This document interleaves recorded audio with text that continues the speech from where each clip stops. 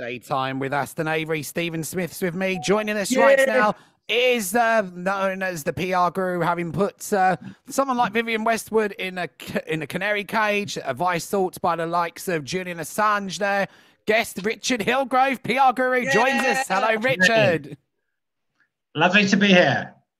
Great to Hi, have Richard. you. Looking forward to this. Did you like the Ab Fab opening we had for you? Wheels on fire. Need some, need some music as well, by the way. Uh, yes, it was Ab Fab. I remember that now. It was the yeah, Jennifer Storm Joanna Lumley show. The, the, female PR guru, Dina. yes.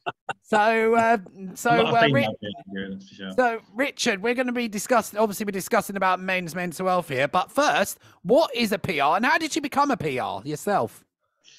Well, I started out, it's quite rare actually, because most PRs come from the world of journalism, but I came from a commercial side. So I was at Express Newspapers, I was the advertisement controller for, for regions and international for Richard Desmond when he used to own OK Magazine. And I was across Daily Express, Daily Star, OK Magazine. And because I handled all this business for, for Desmond across the lot, I started getting roped into these meetings and they used to say, you know, well, could you go and see the editor of this and do a favor for this client? And in 2004, I jumped ship. Um, my wife at the time, I still live with her, we're divorced but live together, Lois Perry. Um, she was an okay girl. Uh, she encouraged me to, to jump ship and launch my own business. She said, You didn't come to the UK from New Zealand just to sit working for someone else. You need to sort of launch your own business. And I launched a PR company, not having a clue what PR actually was at the time. But I've learned in the last 20 years, I've sort of worked it out. That's amazing. It's amazing. Wow. Well, you, you worked with some incredible, with some incredible people. Vivienne Westwood, rest in peace. She's a wonderful lady. I was lucky enough to meet. What would she actually like, and uh, what was like looking after someone like that? Yeah, she was brilliant. I, we did the. Um, she had a sort of like split, not split personalities, probably not the right phrase, but um, she had the fashion side, and then she had this activism side. And because um, I'm not, I haven't got much fashion sense myself. I did all the the activism side. So all the you know, human human rights, Julian Assange protesting, um, climate Armageddon, you know, the world is ending. All that side of stuff was really important to her, and I would activate the media with some incredible stunts that would would sort of create a total viral traction. So where sort of I was locked over on the activism side, leaving all of her internal PR people to handle all the sort of you know, model size dresses and stuff like that. So um, that was what I did. But it was about seven years working with Dame Vivienne West, which is a great lady, you know, really. I, I, I have to ask you, did she ever dress you? Um, not me personally. I don't think I could fit into any of the clothing, and uh, I never tr- tried any of the women's clothing. Andreas obviously has a fantastic men's range. At yeah. one point, I think I was thin enough to put just a men's, a men's shirt. they don't seem to do oversized. could you give us a, just a quick, because uh, she was so important, Vivienne West. Could you give a little example of one of the things you did for her? Uh, um, you you made you touched on the cage. Oh, the cage. The cage was one of the last things I did with her. That was Julian Assange. It was like a um a fetish cage, and she was dangling canary in a cage outside the Old Bailey. I come up with a stunt. It was on 9/11. Um, 2015. Actually, it's still used as a sort of one of her greatest hits, if you like yeah. from meeting the Queen without knickers. Um, that wasn't me, but I got her to go in a white tank to the then Prime Minister's personal residence in Oxfordshire um, to make a chemical attack on his family. Um, and we had just like a lineup of media, must have been about 60 different media, all up this Oxford rural street outside David Cameron's house, with her in the, you know, the, the tank cockpit making this chemical attack on his family. We had low flying helicopter, we had an armed guard with a machine gun at his front door, all for real. You know what I mean? It's like was she arrested? Wild. Was she arrested? No, she wasn't arrested because we weren't actually breaking the law. We're up a normal street. The tank had an actual reg number on it, and so we were as close to cross breaking the law as you could get. But we didn't actually do anything particularly wrong. I mean, they, they stopped us entering um, the prime minister's property, of course. But Which is a bit boring, isn't it? But and I, actually, on the 40th anniversary of Punk, the Sex Pistols, Anarchy in the UK, she was there, and we did a five million pound punk burn. I organised all that as well. I mean, like a multitude of things over the years. exciting. This must be really amazing doing that. Uh, and obviously, uh, you have children yourself here, uh, there, Richard. Obviously, we're discussing about mental health here. Do you teach them about looking after their own mental health, your own children here? Well, I certainly do because I'm attuned to that. And my son, he works for our PR agency now. He's 19 years of age, coming up 20. And when he shows any signs of potentially like um, mood swings, I sort of think, you know, I know it's genetic. And my father had bipolar. I've been diagnosed with it. My father took his own life. Um, he ended up throwing himself off a bridge.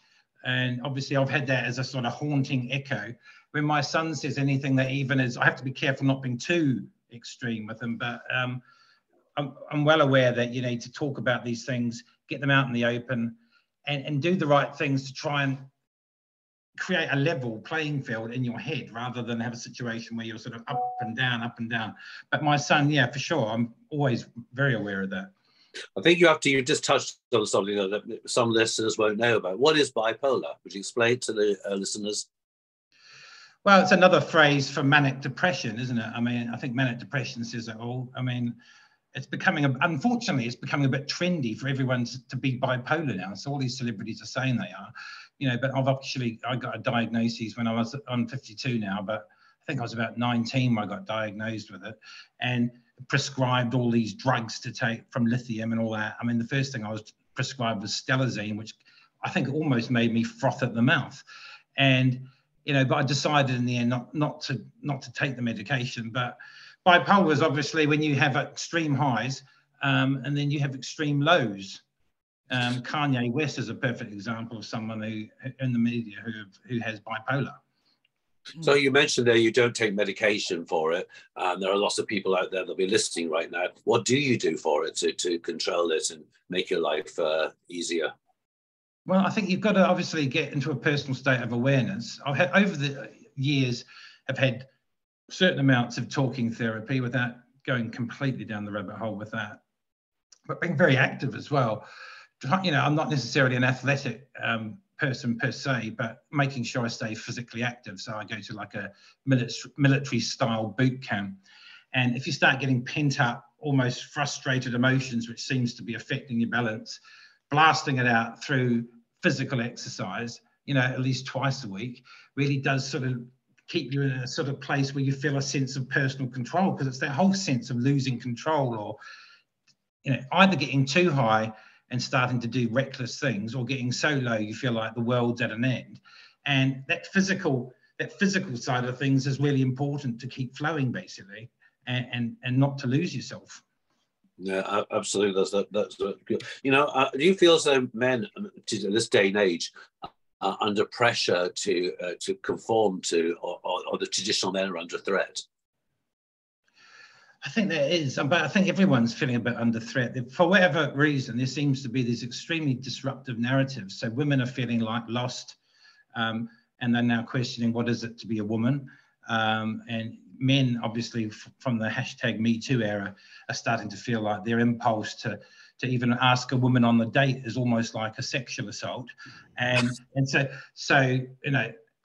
Yeah, that's overstating it somewhat, but I mean, how yeah. do men be men in the traditional sense? That's now vilified. But then women are feeling attacked as well, and I think a lot of people are feeling attacked because there seems to be this narrative play where everyone seems to be wrong at what they do now.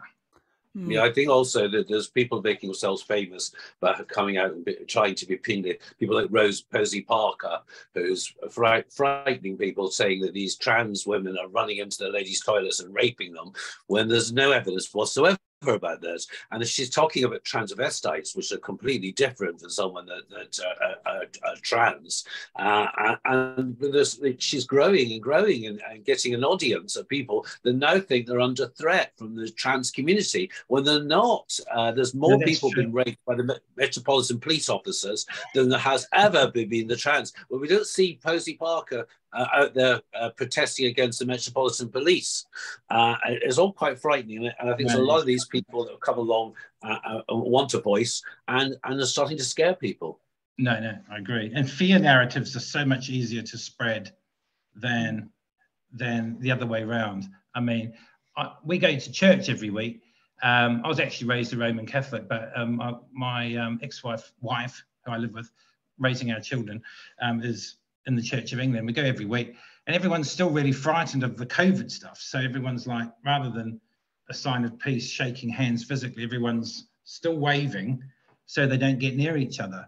And um, it, it's that that thing that was brought in, and people are so frightened, whether it's viruses or, or whether to be saying something which is sort of a sign of white supremacy and and and, and privilege and and it just goes on and on and on. I think there's probably 70 different narratives that are all sort of like firing on all cylinders, basically immobilizing everyone from even functioning now. Yeah, you know, they, they, again, uh, the uh, uh, religion's like a gun. In the right hands is a great thing, and the wrong hands, uh, as we've seen, you know, we've got the huge thing in the United States at the moment against uh, uh, drag queens doing, you know, we, we, we, grew up with panto dames uh, and drag queens reading stories to children. Far as I've seen, there's never any evidence of a drag queen ever assaulting a child, but there are lots of evidence for uh, religious uh, fanatics assaulting children and gunning children down.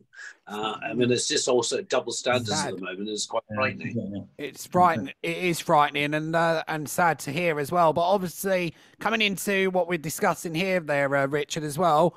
Obviously, in the film industry, would you likely to see a gender neutral James Bond down the line? No. I quite, I, I'm a bit of a traditionalist in the sense I don't really want to see a gender neutral. I don't. I mean, I didn't really want to see a, a, a black Anne Boleyn either. Um, I just just think that some things are quite nice to have in zones. And I think young people are sort of grabbing hold of 80s popular culture and almost fetishizing it now because they desperately want some of those old values. I think things like Peaky Blinders with traditional male role models of men being quite strong. I love that show. But these Brilliant things are show. all historical and they're all, all becoming sort of almost fetishized by people because they're so desperate to not have, have everything wash away in some multicultural soup of diversity. I don't want to sound like I'm not open, and I am very open. But um, I think I think all of the sort of everything goes thing, and let's erode our past and all that is not a good thing, particularly. Yeah, I, I agree with you. It's, it's kind of where the, the, the problem is going to arise.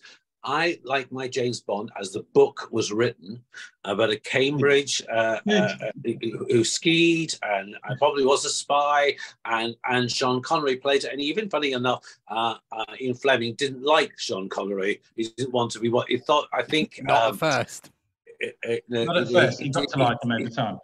he didn't want uh, uh, that. I think that's where the problem is. If you start threatening someone's traditional uh, role as a, there we have a heterosexual man that sleeps with women and dashes around go no no no no something has to be gay or a woman or whatever. That's when you're going to the problems arise. Leave that alone. Yes of course you need uh, uh, uh to, to move on and give give lgbt all the rights to and this uh, all the rights. But don't then start threatening a, a, a heterosexual section because then when they the mum and dad and two point kids start getting threatened then there's going to be problems Correct. I have to agree with you on that. Yeah. 100%.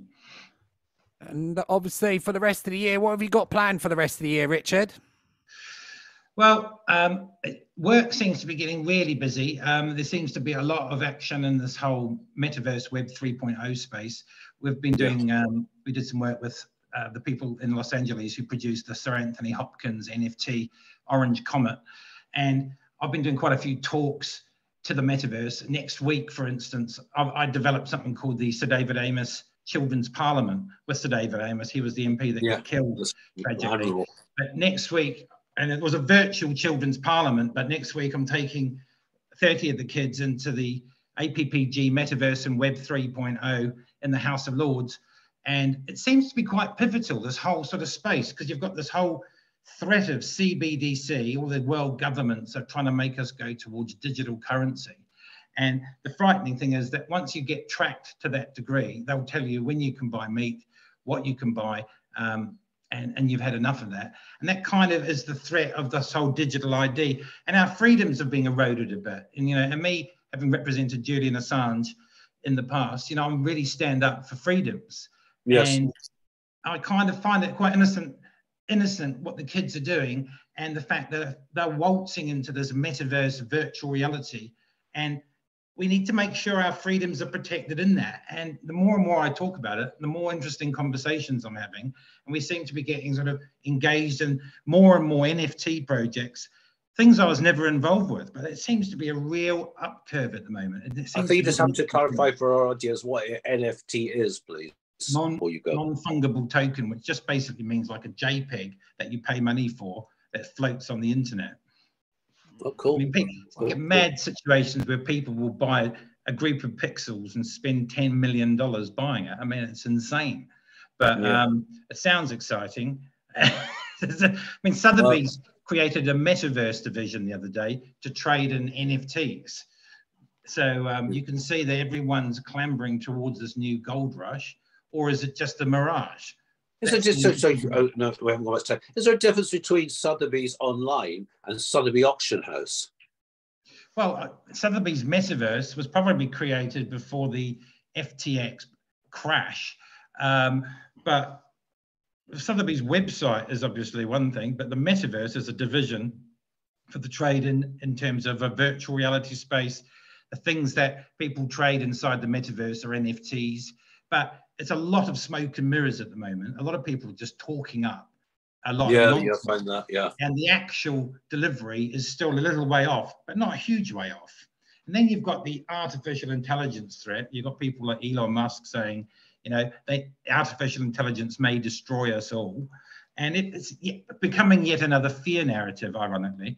Um, but I'm quite interested in riding that bucking bronco and seeing what happens. And that seems to be where this year is shaping up not only doing that, but it's a massive area. Well, uh, Richard, it's been amazing having you. We'd love to have you back on again to talk about NFT later on yes. and a few yeah, months' time when we do a special on it.